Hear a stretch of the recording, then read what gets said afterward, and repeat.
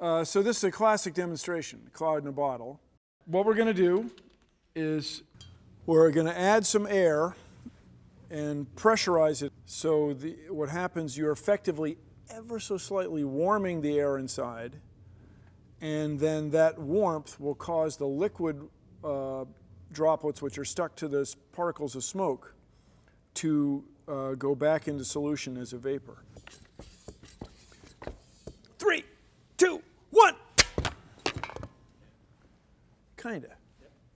So not much happened. So we will reproduce this demonstration by adding some dust, uh, similar in, in, principle to the dust you get uh, when you uh, live on a prairie, or if you're on the open ocean where wind blows salt from the sea into the air and water evaporates, leaving tiny crystals of salt.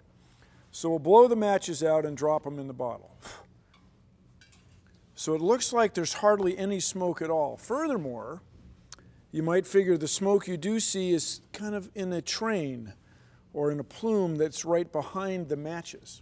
But watch what happens when we pressurize it uh, and then uh, remove the pressure. When you take the pressure off, the air inside will spread out, the molecules are spread, spread out, the energy, the kinetic energy of the molecules will be spread out, and they will then effectively cool off.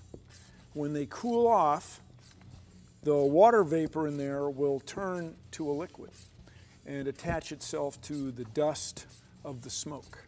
Three, two, one. Ooh, a cloud. It's not magic, my friends. It's science.